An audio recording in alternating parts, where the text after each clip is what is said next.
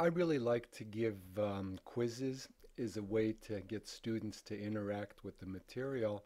I think that's the most important thing is to have uh, students busy, active, and you know frequently doing different things with the course content so that they can process it, think about it, talk about it, and eventually they kind of make the uh, material their own by working with it and trying to understand it.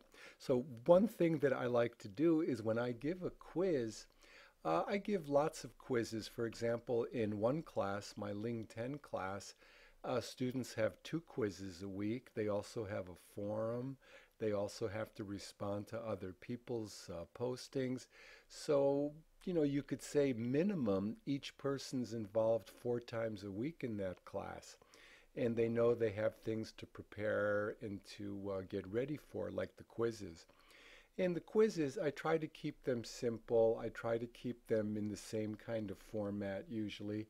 And feedback is uh, part of the educational process. You can't uh, you can't learn anything in life basically without doing something and then receiving some kind of feedback on your behavior to be able to know if you should continue doing it this way or not. I mean, it's uh, a basic way of life, of learning, and you can't get out of that system.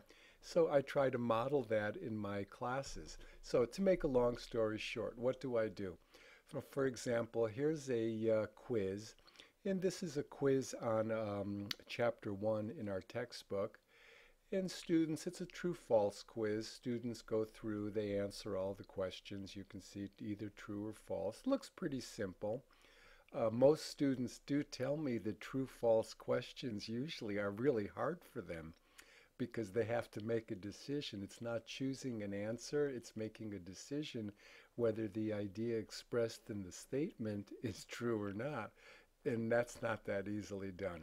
So anyway, a student takes a quiz and they finished 20 questions. Go to the next page. I see the answers have been saved. That's perfect. They can return to the attempt or they can submit it. Now, students, I always give people a really long time. To answer 20 true false questions on a chapter somebody knows shouldn't take all that long.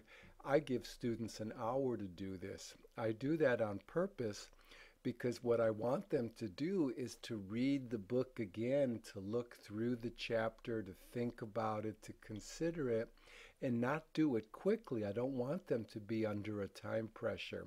I want them to be under the pressure of choosing the correct answer, and time shouldn't be a factor in that. So here we go. They finish the quiz, they've thought about it, they submit all and finish. And now come back the results. Each question, this is the feedback. Oh, look, I got it correct. It's true, false. Oop, now here's one that's wrong. And what I like to do is not tell students the answer. It's pretty obvious if it's uh, true or if they answered true, then it's false, so the statement's not true. What I like to do is to give them, for example, the correct answer is false, but the answer is on page three. And what I want them to do is to go back and check, find that place in page three that talks about usage and idioms, and to really try to understand why that answer is false when they answered true. I like this also because it gives students an easy, uh, quick way to find the answer. They don't have to struggle and give up after looking for two or three incorrect answers through a whole chapter. They're directed exactly to where the answer is. They can get the feedback they need, more information on why that was correct or not correct. But also, what I like is that very often students then will start to uh, email me and start, I mean, in a nice way, but start to argue with me and say, oh, you know, this question's a little misleading, or Pinker actually says blah, blah, blah. And it brings and it opens up the opportunity for dialogue.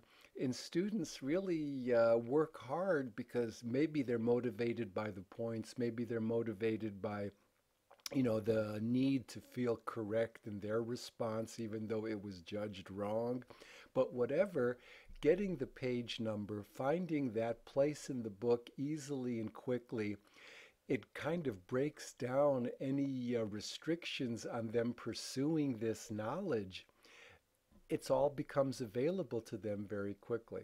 So basically, this is the way that I like to do my uh, quizzes is I like to give the feedback and the feedback is simple. The answer is on such and such a page, look it over, and if you have any questions, let's talk about it a little bit more.